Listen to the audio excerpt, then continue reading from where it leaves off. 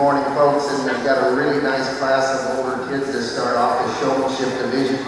I've got an outstanding, top end of this class. Uh, having said that, the girl that starts this class, she, she, and incidentally, this is the single class in all other heats, so this is the way it is. And, uh, young lady starting, for lack a better way to describe it, I just like the way she handles this effort. She's part of this effort.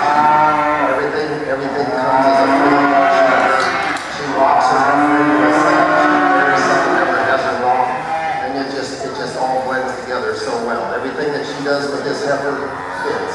And, and I would also say probably at home, spent a lot of hours spent on this individual